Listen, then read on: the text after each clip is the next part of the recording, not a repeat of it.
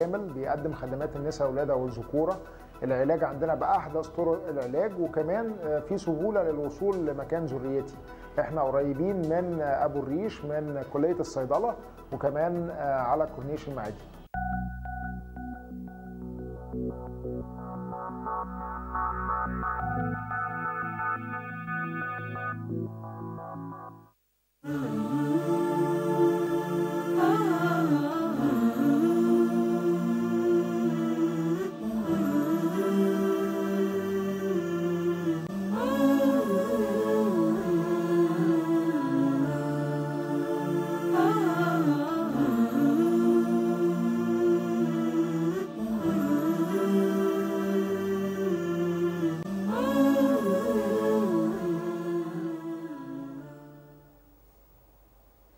بسم الله الرحمن الرحيم. أعزائي المشاهدين والمشاهدات السلام عليكم. أهلا وسهلا بيكم في برنامجكم الأسبوعي ذريتي. أنا دكتور وائل صالح بسعد بلقائكم علشان نتكلم على مشاكل من المشاكل المهمة اللي بتواجهنا في مجال أمراض النساء والولادة. ونسعد طبعا بتلقي كل اتصالاتكم الهاتفيه اللي هي ممكن تكون عن أي أسئلة مهمة بالنسبة لحضراتكم سواء في الموضوع بتاع الحلقة أو في أي مواضيع تانية. النهارده ان شاء الله هنتكلم على موضوع مهم جدا وهو السن وعلاقته بفرص الحمل وإذا ربنا سبحانه وتعالى يعني يتكرم علينا ويحملنا إيه بعض المشاكل اللي سريعا كده ناخد بالنا منها أثناء الحمل. طبعا هنبتدي كلامنا بحكاية أعتقد إن كتير من حضراتكم يعني عارفينها بس التكرار بتاعها لطيف لأن هي قصة لطيفة جدا الطفلة الصغيرة أول ما بتتولد ربنا سبحانه وتعالى بيتكرم عليها بحوالي نص مليون بويضة موجودة جوه جسمها. يفضل العدد ده يقل تدريجيا طول ما الطفلة دي بتكبر من لحظة ما تتولد لغاية ما توصل لسن البلوغ. وعند سن البلوغ بيبقى تقريبا عند الآنسة حوالي خمسين ألف بويضة موجودين داخل المبيضين. بعد كده العدد ده بينقص تدريجيا نتيجة للتبويض اللي بيحصل مرة كل شهر ويفضل يقل لغاية ما يختفي تماما عند سن اليأس أو سن انقطاع الدورة. الحقيقة إن كل شهر ال ال السيدة أو الأنسة ما بتستهلكش البويضة الوحيدة اللي هي بتكبر لكن بتستهلك عدد أكتر من كده من البويضات لأن إحنا عندنا كل شهر عدد كبير من البويضات بيحاول ان هو يبتدي يكبر لغاية ما واحدة بس من البويضات دي هي اللي تقدر تكبر وتكمل للحجم بتاع التبويض. لكن كل شهر في عشرات البويضات اللي هي الجسم بيفقدها أثناء العملية دي. فال يعني الطريقة دي في إن الجسم بيطلع بويضات كتيرة واحدة منهم هي اللي بتكبر وتقدر تكمل للحجم المطلوب. بينتج عنها إنه العدد ده يقل تدريجيا لغاية ما ينتهي تماما عند السن بتاع انقطاع الدورة. وزي ما كنا قلنا قبل كده في أكتر من حلقة إنه الدورة الشهرية اللي بتحصل للسيدة أو الآنسة دي ناتجة عن العملية بتاعة التبويض بمعنى إنه الدورة الطبيعية عادة بتكون دليل على وجود تبويض طبيعي. فعلشان الظاهرة دي أو علشان الموضوع بتاع التبويض وعلاقته بالسن كلنا عارفين أنه في علاقة مهمة جدا ما بين السن بتاع الزوجة وما بين فرص الإنجاب وفي نفس الوقت في بعض الحاجات اللي نخلي بالنا منها عند السيدات لما ربنا سبحانه وتعالى يتكرم عليهم بالحمل إذا كان سنهم متقدم شوية. أول حاجة نلاحظها في الموضوع بتاع العلاقة ما بين السن وفرص الحمل أو الحمل انه السيدات اللي بيكون سنهم أقل من 25 سنة دول بيكون عندهم أفضل أنواع البويضات اللي بينتج عنها إنه لا قدر الله فرص المشاكل بتاعة الفئة العمرية اللي هي أقل من 25 سنة بتكون أقل بكتير جدا من الفرص بتاعة لا قدر الله المشاكل في الفئات العمرية الأكبر. وبالتالي برضو إحنا كدكاترة بنبقى دايما مدين وقت أكتر بكتير للسيدات اللي بيكون سنهم أقل من 25 سنة في ان إحنا نقدر نجرب معاهم طرق كتيرة لمساعدة الإنجاب ونديهم فترة أطول لمحاولة الحصول على طفل بدون ما نلجأ لحاجات مساعدة لفترة طويلة جدا. وإحنا برضو عندنا قاعدة آه، أساسية جدا في آه، طب النساء والولادة. وهو إنه الزوجين اللي بيكون سنهم صغير بننتظر عليهم آه، فترة سنتين قبل ما نبتدي آه، نكون أكتر يعني آه، تصميما أو نحاول إن إحنا نعمل لهم حاجات أكتر علشان نساعدهم على زيادة فرص الحمل بإذن الله. لكن ال- الحكاية دي بتتغير كتير جدا في الفئات العمرية الأكبر. ال- السيدات المتزوجات اللي بيكون سنهم ما بين ال 25 سنة لغاية ال 35 سنة آه، لازال بيكون عندهم آه، فرص تبويض آه، ممتازة. ففي الحالات بتاعة الأزواج اللي بيكون عمر الزوجة فيها ما بين ال 25 لل 35 سنة آه، بنكون برضو آه، يعني عندنا القدرة على إن إحنا ننتظر آه، بعض الوقت علشان آه، ربنا سبحانه وتعالى يتكرم عليهم بالحمل آه، لكن في بعض الأوقات ما بننتظرش لفترة السنتين آه، كلهم. لكن بنبتدي إن إحنا نعمل فحوصات أكتر أو أشعات أكتر أو حتى نديهم علاجات أكتر بعد مرور آه، سنة واحدة بس على الجواز. هنرجع نكمل الموضوع المهم ده لكن بعد ما ناخد اتصال هاتفي من مدام هدى. السلام عليكم. وعليكم السلام ورحمة الله وبركاته. عندي 39 سنة. أيوه. كنت متزوجة من أربع شهور. أيوه. زوجي متزوج قبل كده وعنده طفلين. أيوه. آه، حضرتك هو أنا آه، بقالي أربع شهور طبعا ما حصلش أي حمل. أيوه. آه، عملت رحت الدكتورة كنت تعبت في الشهر الثاني ولقيت بعض نقط الدم. فراحت عملت عليا منظار مهرجي أيوه. وقالت لي إن في تكيس بسيط آه، عند المبيض اليمين والشمال. واحد اتنين مللي تقريبا. منظار منظار مهبلي ولا منظار بطن ومنظار مهبلي يا مدام هدى؟ مع سونار مهبلي تقريبا. تمام. آه، واحد 200 مللي والتاني آه، اللي اتقالت فيه تكيف. واحد 2 مللي واحد 3.3 تمام. آه قالت و- لي آه، أنا قلت لها إن أنا كنت من سنة 2008 بعاني من بعض ال- الدم بينزل من السرة في تاني أو ثالث يوم للدورة. أيوه. وبصراحة ما يعني ما- كنت يعني ما حدش فسرها لي وعرفت إن ده ممكن يكون بطانة رحم مهاجرة. تمام. حضرتك بقى لها سنة من قبل الزواج مختفية الموضوع ده يمكن جت مرة أو مرتين. لكن تمام فوجئت إن ال- الشهر ده بتاع الدورة جات اليوم الخامس أو السادس بعض النقط القليلة. الدكتورة كانت آخر مرة كنت عندها ما قالتليش خالص. ما كنت يعني ما يعني قلت لها على موضوع ال- الدم ده بس. قالت لي الحمد لله زي ما راح زي ما جه يبقى خلاص. نبتدي بعد ثلاث شهور كمان.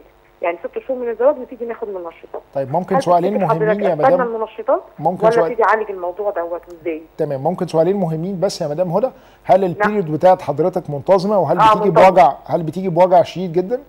لا لا لا خالص ما عنديش وجع. بس أثناء ال ال ال يعني الألم اللي بيجي في الفترة كان أحيانا بيجي لي ألم كأنه بالظبط حاجة حضرتك كأنها قماشة بتتشد من ناحيتين. ده بس وقتها لكن أنا عمري ما بيجي لي ألم في الدورة.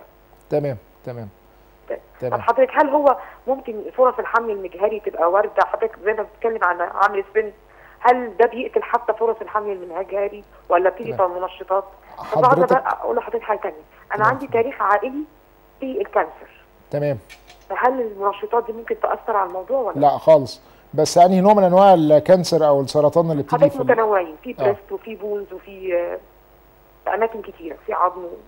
كلهم من المحيط العائلي عندي يعني. و- وكلهم في سن أكبر شوية آه، ولا في سن كلهم أقل خالة وخالة أخت وأم. آه، عادة السن بيكون فوق ال 40 سنة ولا تحت ال آه 40 كلهم سنة فوق ال لما- 40 آه. فوق ال 50 أو 60 ولا فوق ال 40 من 40 ل لا، 50 في- السيدات كلهم فوق ال 40 مهم. في واحدة 40 واحدة 50 واحدة 60 والرجالة كلهم كانوا فوق الآخر 50 تمام. في أي حاجة تانية يا مدام هدى؟ عند لا؟ لا لا. حضرتك هل في فرص حمل وارده هل حضرتك عملتي؟ تحليل مخزون التبويض؟ لا ما طلبتش مني أي حاجة لسه. طيب. قالت لي هنستنى كمان ثلاث شهور من بعد الزواج ونشوف كده إذا حصل طبيعي ولا لأ.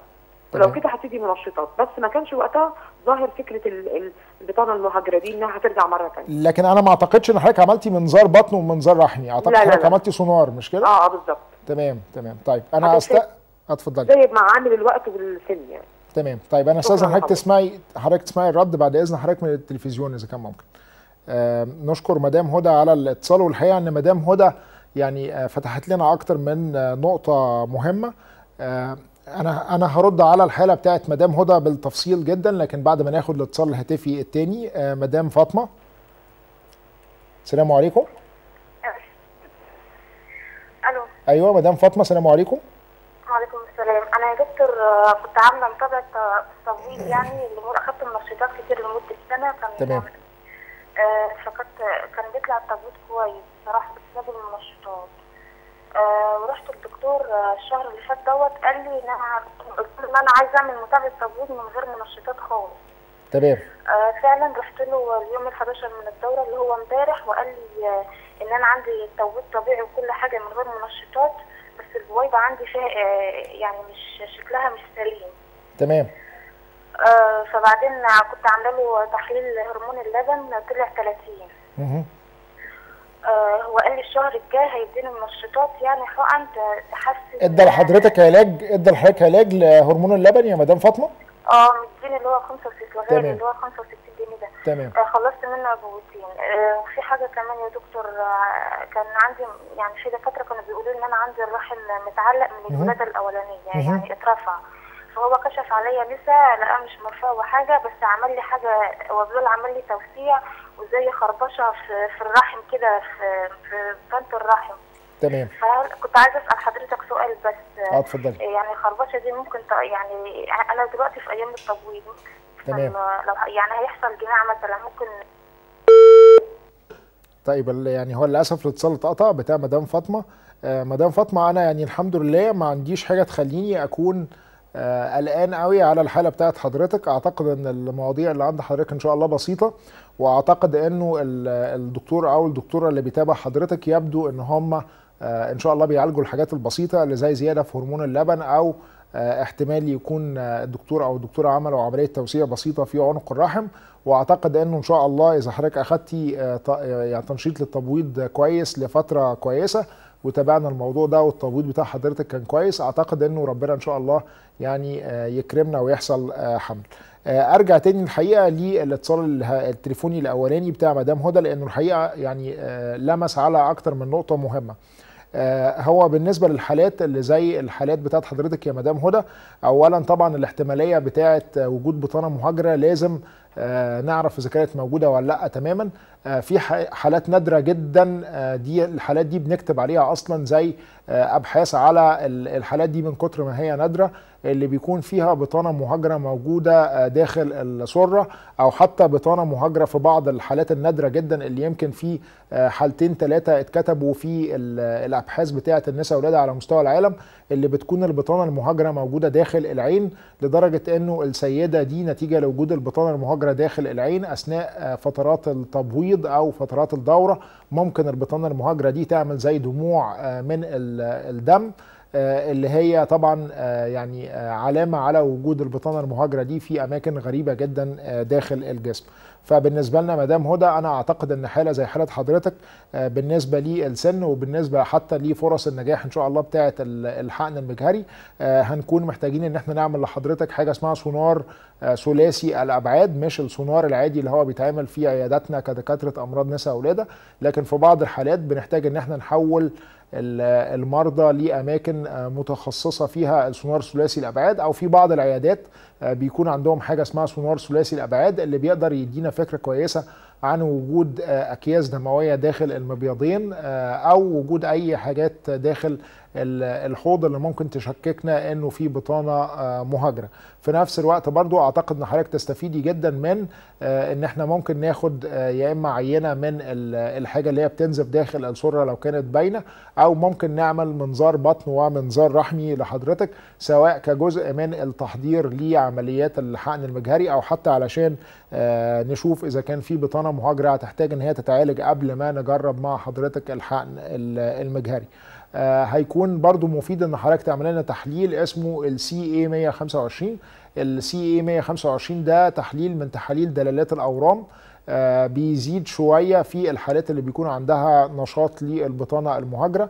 فإذا لقيناه عالي آه، ده ليه معاني كتيرة قوي يعني ما بيشخصي البطانة المهاجرة لكن ممكن يدينا بعض الفكرة إنه في احتمال أكبر إن يكون في بطانة مهاجرة وفي نفس الوقت بعد العلاج اللي هو ممكن يتعمل بيه المنظار إذا كان في آه، أجزاء من البطانة المهاجرة دي موجودة داخل ال- البطن أو داخل ال- التجويف بتاع الحوض وبعد علاجها إذا كان في حاجات زي كده موجودة. المفروض إن السي اي 125 أو التحليل بتاع الدلالات الأورام دي بتقل جدا فبيساعدنا برضو إن إحنا نكون عاملينه من قبل العمليات بحيث إن إحنا نقدر نلاقي إنه النسبة بتاعته قلت بعد آه، العلاج آه، بعد ما حضرتك تعملي الحاجات دي هيكون مفيد قوي إن إحنا نعمل تحليل المخزون بتاع التبويض.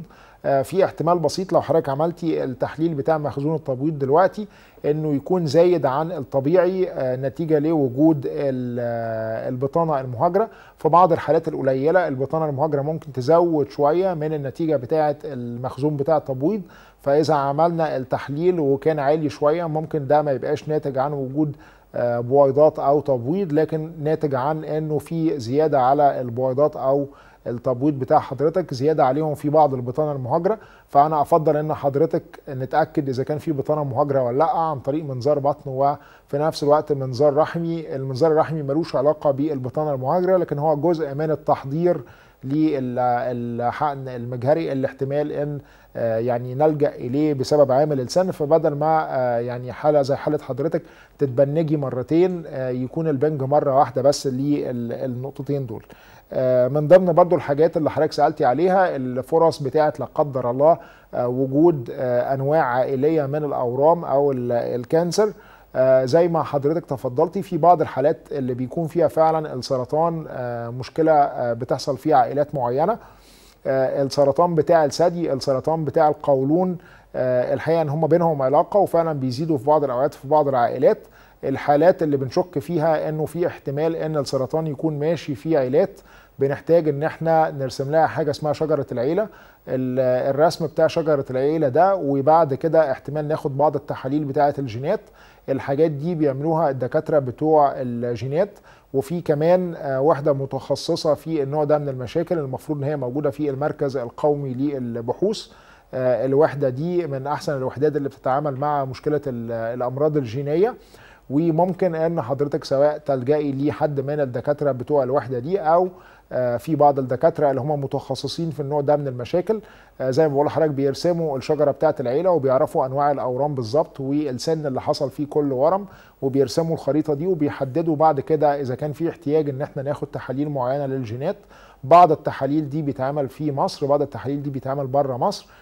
يمكن إذا يعني كان واضح من الطريقة بتاعت كلام حضرتك إن حضرتك يعني التعليم بتاع حضرتك عالي. يمكن حتى كان في حديثا جدا الحالة بتاعت واحدة من أشهر الممثلات الأمريكيات اللي هي أنجلينا جولي اللي استأصلت الثدي على الناحيتين نتيجة إنه كان في مشكلة أورام موجودة داخل العيلة بتاعتها. فهي علشان تحسن التوعية بالنوع ده من المشاكل اللي هي المشاكل الأورام في العائلات عملت الموضوع ده ويمكن اتكلموا عليها كتير في المجلات والجرايد الأجنبية في الفترة اللي فاتت ففعلا الموضوع ده أعتقد برضو إن هو مهم جدا إن حضرتك تعرفيه سريعا لأنه إذا كان لا قدر الله في زيادة فعلا في فرص المشاكل اللي من النوع ده هيكون مفيد إن حضرتك طبعا تعرفيه سريعا علشان إذا كان في أي قرارات حضرتك هتاخديها بعد كده يعني يبقى معروف الأبعاد بتاعة الموضوع. فعلشان ألخص لحضرتك الكلام مرة أخيرة أعتقد إنه دكاترة الأمراض بتاعة الجينات ممكن يرسموا لنا شجرة العيلة وإذا كان في احتياج لبعض التحاليل للأورام اللي هي بتتنقل في العائلات ده هيكون شيء مفيد جدا.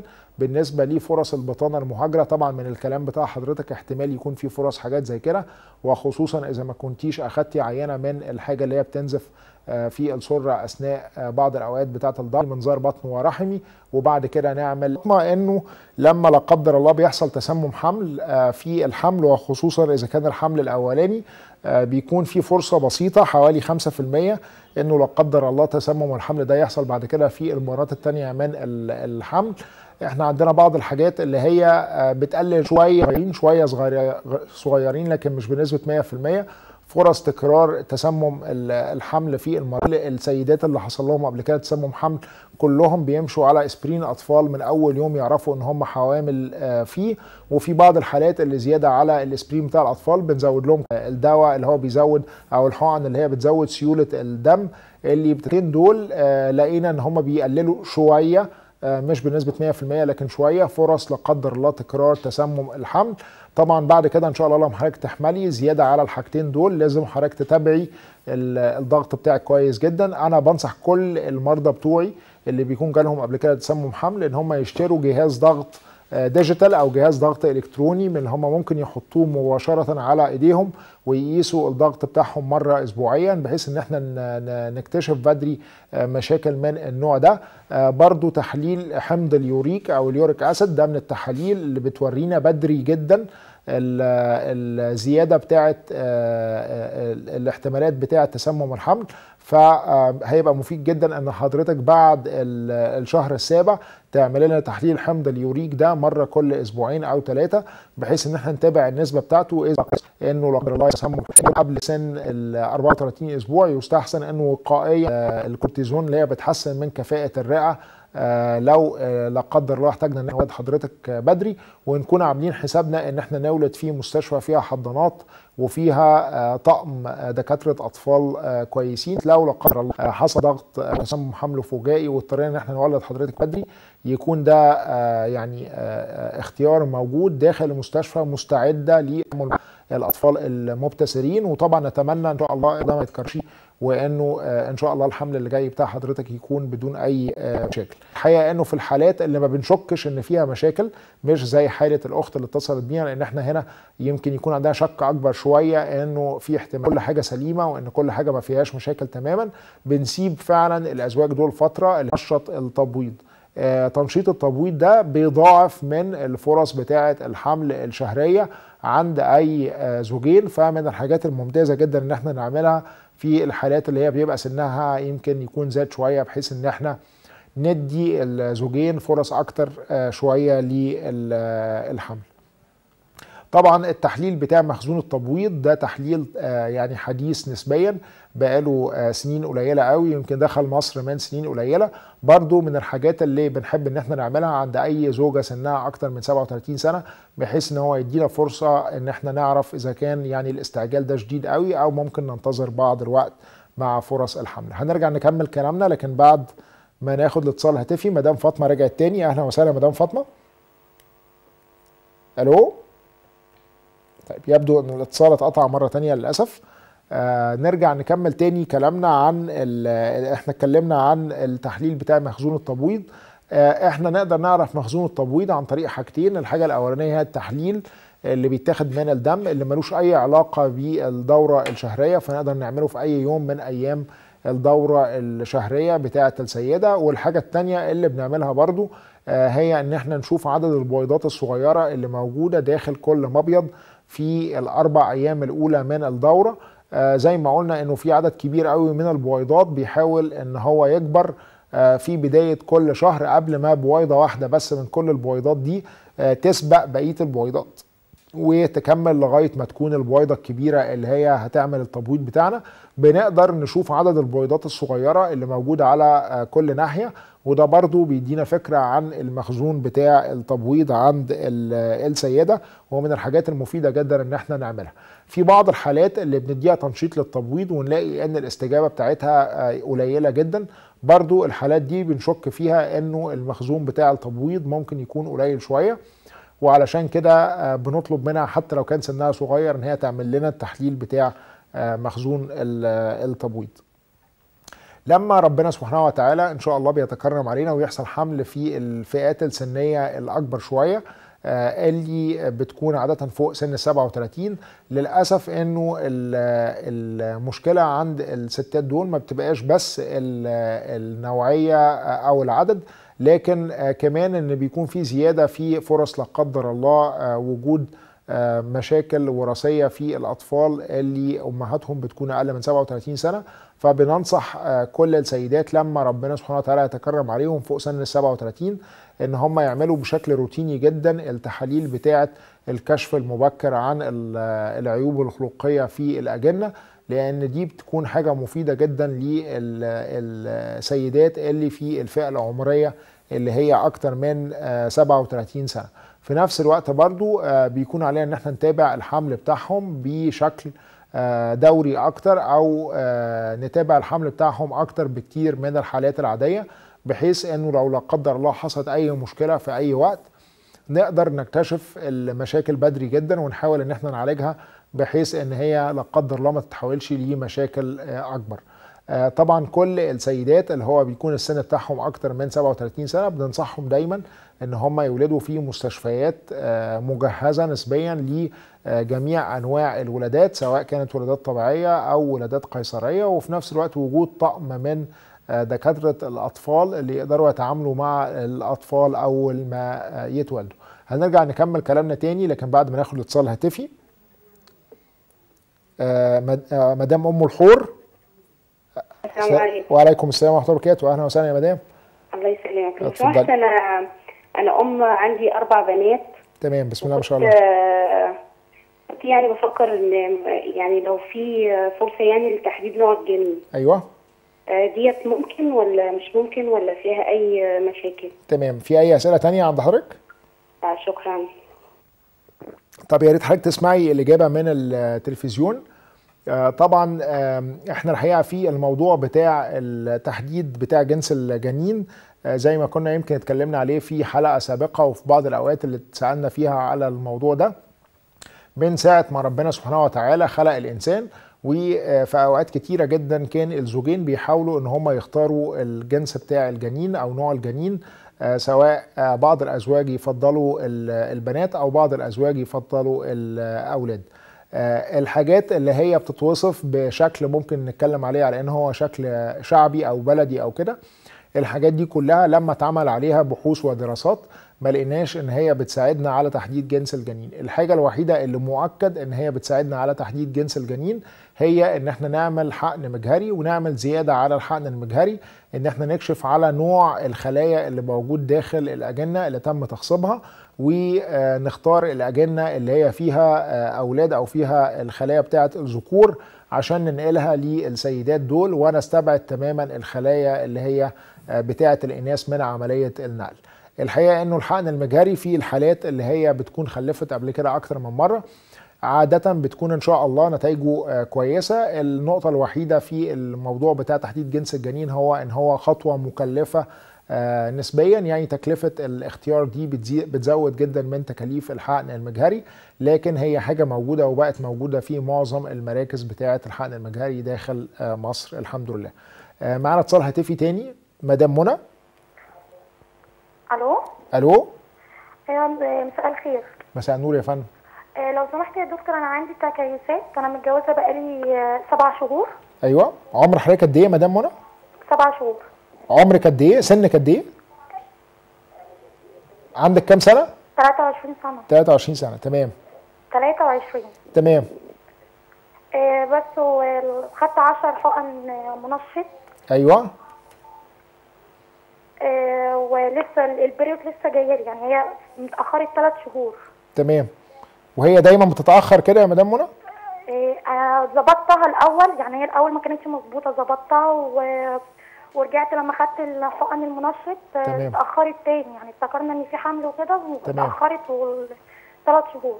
لكن هي كانت بتتظبط بس على العلاج اللي حضرتك بتاخديه ولا كانت بعد ما بتبطلي العلاج كمان بتبقى مظبوطة؟ سامعه حضرتك؟ طيب هل لما حضرتك كنت بتبطلي العلاج بتاع تظبيط الدورة ده كانت بتتظبط ولا كان لازم تاخدي علاج عشان تتظبط؟ كانت بتتظبط أيوه كانت بتتظبط. حتى في عدم وجود علاج حتى نعم. بعد ما حتى بعد ما تبطلي العلاج؟ آه. تمام تمام. طيب الحالات اللي عادة الدورة فيها بتتظبط بعد ما بنوقف العلاج من تكيسات المبايض دي عادة حالات الحمد لله بسيطة يا مدام منى. فأنا أعتقد لو حضرتك إن شاء الله أخدتي تنشيط كويس للتبويض بتاعك وتابعنا التنشيط ده بشكل كويس إن شاء الله الفرص بتاعة ال- الحمل بتاعة حضرتك موجودة ب- يعني بشكل كويس أوي إن شاء الله لأن كمان سن حضرتك صغير فنقدر نجرب حاجات كتيرة قبل ما نلجأ لحاجات تانية. ممكن إذا لقينا إنه في صعوبة شوية في ال- الاستجابة للتنشيط بتاع التبويض في بعض الحالات في بعض الحالات مش في كل الحالات في بعض الحالات اللي لازم نختارها بشكل يعني آه، يكون آه، علمي جدا علشان ما نضرش السيدة. في بعض الحالات بنعمل آه، كي بسيط جدا عدد لا يزيد عن أربع خروم في كل آه، مبيض. وبعد كده ندي السيدات دول التنشيط بتاع التبويض وبيكون في زيادة في فرص الاستجابة للمنشطات لمدة آه، حوالي 9 شهور أو سنة بعد عملية الكي دي لكن دي عملية ما بنختارهاش إلا لبعض الحالات مش لكل الحالات اللي عندها تكيسات في المبايض لأن الأغلبية الكبيره جدا من الحالات بتاعة تكيسات المبايض بتستجيب بشكل ممتاز للتنشيط بتاع التبويض وما بنبقاش محتاجين إن إحنا نعمل لها العملية دي إلا لما نلاقي في علامات معينة في الأشعة التلفزيونية أو نلاقي إنه الاستجابة متوسطة شوية. أو نلاقي إنه السيدة ما بتاخدش العلاج بتاعها لعدم قدرتها على إن هي تنتظم في العلاج وللأسف في بعض المرضى بتوعنا اللي ما بيقدروش ينتظموا على العلاج لدرجة إن إحنا بنضطر إن إحنا نعمل لهم النوع ده من عملية التثقيب بتاعة المبايض عشان نزود فرص الاستجابة لمنشطات التبويض. نرجع نكمل كلامنا مرة تانية على الفرص بتاعة الحمل والحمل في السن اللي هو ممكن يكون زايد شوية. زي ما قلنا إنه متابعة الحمل في الحالات دي لازم تكون أكتر شوية من الحالات العادية علشان نقدر نضمن إنه لا قدر الله في حالة اكتشاف أي مشكلة من أي نوع. يعني بنتدخل بشكل سريع شوية عن الحالات العادية على أساس طبعا إنه السن بتاع الأم ممكن يخلي فيه زيادة في فرص المشاكل فلازم دايما نكون متابعينهم كويس جدا علشان نتفادى وجود مشاكل من أي نوع. الحقيقة إنه على عكس السيدات الحقيقة إنه سن الزوج من الحاجات اللي ما بتفرقش كتير في التحاليل بتاعه السائل المنوي أو في فرص الحمل أو الإنجاب بتاعه الزوجة اللي متزوجة من زوج سنه كبير شوية. ويمكن ربنا سبحانه وتعالى مخلي الرجالة يقدروا يحتفظوا بالخصوبه بتاعتهم لأعمار سنية متقدمة جدا ممكن تكون 70 أو 80 سنة حتى. وبيكون لازال في قدرة على إنه الحملات المنوية تكون ممتازة.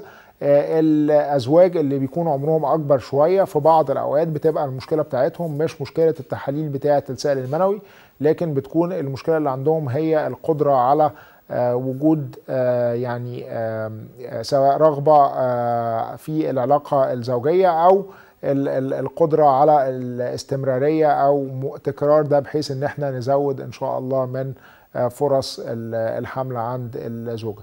أنا سعدت جدا بالاتصالات الهاتفية اللي جات لنا في الحلقة بتاعتنا وسعدت بإن أنا التقيت مع حضراتكم في الموضوع بتاع الحلقة.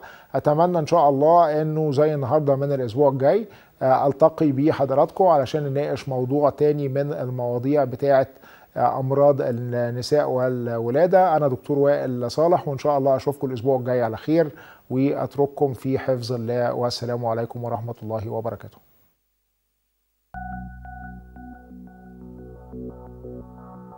في علاجات كتيرة هرمونات ممكن إن إحنا نستخدمها علشان نعالج الورم الليفي من غير حتى ما نلجأ للمنظار.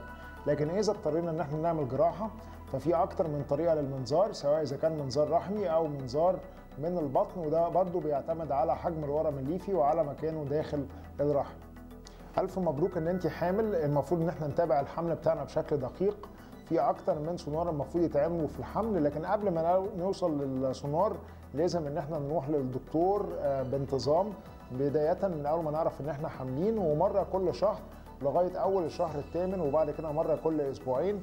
إحنا محتاجين على الأقل ثلاث سونارات أساسية في الحمل. سونار عند حوالي 10 أسابيع علشان نشوف العمر بتاع الجنين ونتأكد إنه مفيش عيوب خلقية. سونار تاني عند حوالي خمس شهور وده بنقدر نعرف منه تفاصيل الجنين ونتأكد انه مفيش أي عيوب خلقية. وبعد كده على الأقل سونار ثالث عند حوالي سبعة أو ثمان شهور علشان نتأكد إن الجنين الحمد لله بينمو بشكل كويس. ممكن نحتاج سونارات تانية وده بيعتمد على إذا كان في لا قدر الله مشاكل ولا لأ لأنه إحنا عندنا أجهزة سونار في العيادات ونقدر نعملها في كل زيارة. طبعا ده على حسب الاحتياج الطبي. التلقيح الصناعي طريقة بسيطة علشان نساعد الإنجاب. التلقيح الصناعي بيبقى فيه تركيز للسائل المنوي اللي بعد كده بيتحقن داخل الرحم. الحقن المجهري بيتطلب تحضير أكتر دقة للسيدة قبل ما نعمل لها عملية الحقن المجهري. وبتتطلب شفط البويضات بالبنج وبعد كده معمل أجنة على أحدث مستوى علشان الإخصاب يحصل فيه قبل ما ننقل البويضات المخصبة داخل الرحم إن شاء الله. إحنا في ذريتي هنا بنتميز بان عندنا فريق طبي متكامل بيقدم خدمات النساء والولادة والذكورة. العلاج عندنا بأحدث طرق العلاج وكمان في سهولة للوصول لمكان ذريتي. إحنا قريبين من أبو الريش من كلية الصيدلة وكمان على كورنيش المعادي.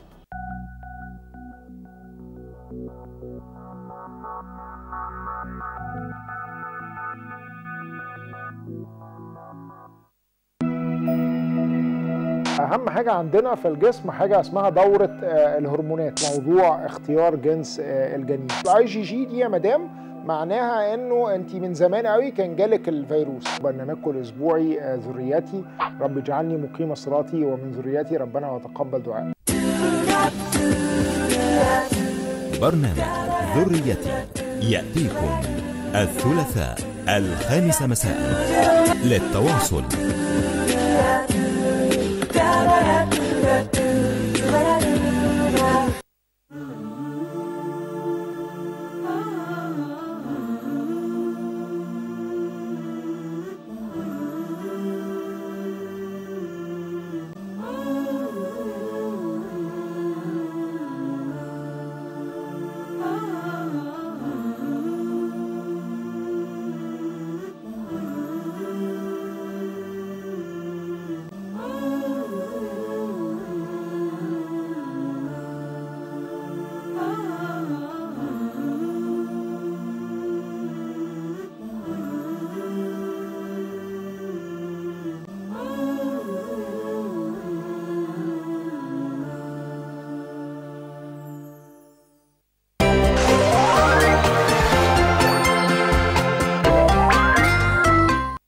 شيء تعبك.